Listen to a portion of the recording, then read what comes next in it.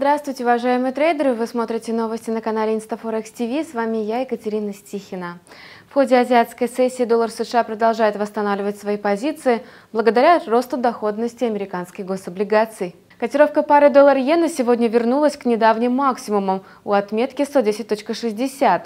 Участники рынка пока что спокойны по отношению к торговой войне между США и Китаем, предпочитая сосредоточить внимание на макроэкономические события. Поддержку американской валюте оказала речь Джерома Пауэлла, в которой была отмечена готовность американского Центробанка продолжать постепенное повышение процентной ставки. Однако председатель ФРС заявил, что в случае каких-либо изменений в торговой политике эти прогнозы придется изменить.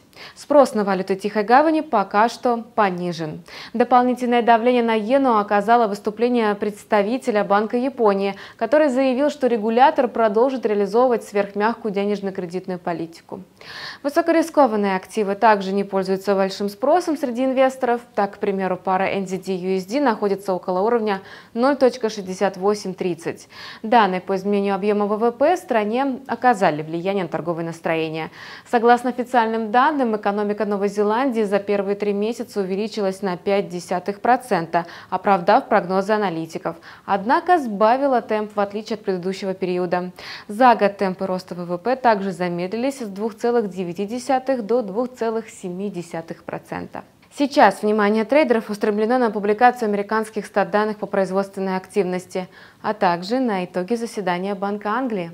Вы смотрели новости на канале InstaForex TV. С вами была я, Екатерина Стихина. Желаю вам профитных сделок вместе с InstaForex.